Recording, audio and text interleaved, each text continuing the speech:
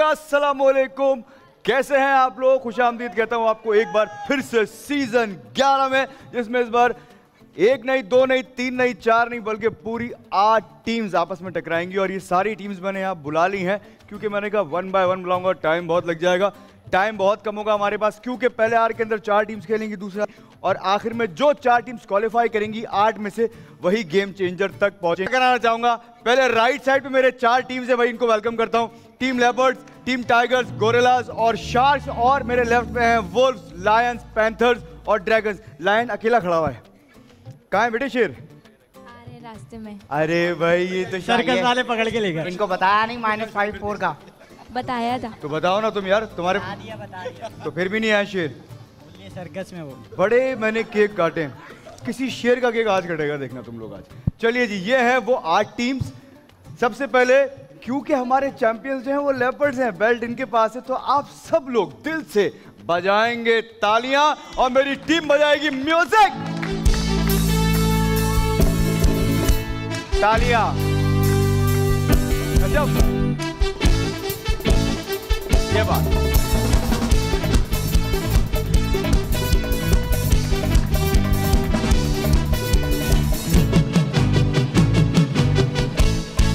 बात अच्छा जी, आप में से वो चार टीम्स कौन सी होंगी जो पहले आ रहे हैं? हमारे साथ रहेंगी। जल्दी जाओ मिठो के बाद हुआ है। इसका मतलब है कि दो दो पॉइंट्स जाएँगे गोरिल्लास टाइगर्स और शार्क्स के साथ। कोई पॉइंट नहीं जाएगा ड्रैगन्स के साथ। हो जाए।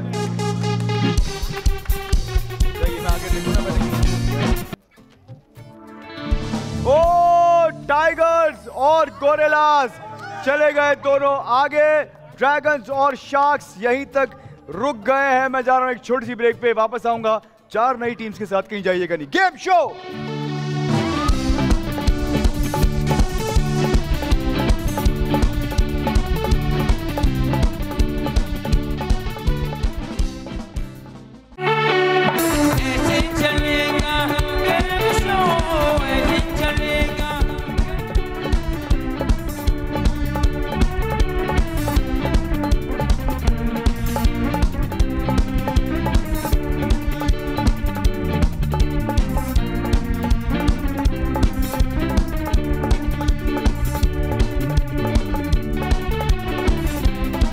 मिठो नंबर वन एक नंबर दीजिएगा इन्हें।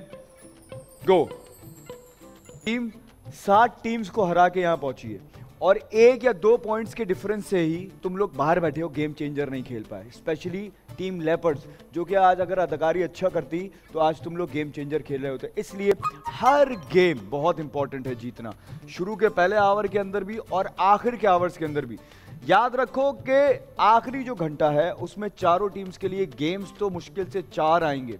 इसलिए वो मौका कोई छोड़े ना, इन लोगों ने मौका नहीं छोड़ा। इसका फल है कि आज ये लोग जीत गए। गोरेलाज आज की विनिंग टीम रही है। साथ साथ आज का गेम चेंजर भी जीत गए। मैं कल ठीक सात बजे